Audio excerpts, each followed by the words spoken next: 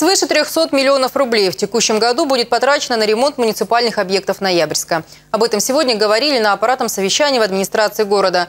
Почти две трети суммы идет на капремонт семи школ и четырех детских садов. Около 60 миллионов предназначено для объектов управления культуры.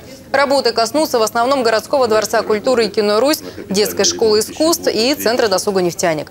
Сумму более 20 миллионов рублей обойдется городу ремонт дворца молодежи и некоторых других спортивных объектов. Примерно столько же предусмотрено на работы в административных зданиях.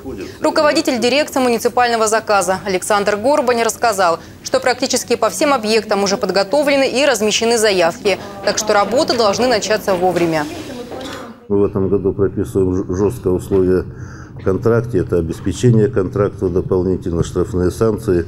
И уже как в том году у нас по 10-12 человек на аукцион не выставляется. 3-4 максимум. Поэтому отбор идет жестче. Я попрошу всех руководителей учреждений, управлений, так, чтобы на самом деле вы контролировали, потому что объекты это ваши, а не так, что сдали объект, а потом я случайно туда заезжаю и вижу вот эти недоработки. То есть в любом случае ответственность вас не снимает.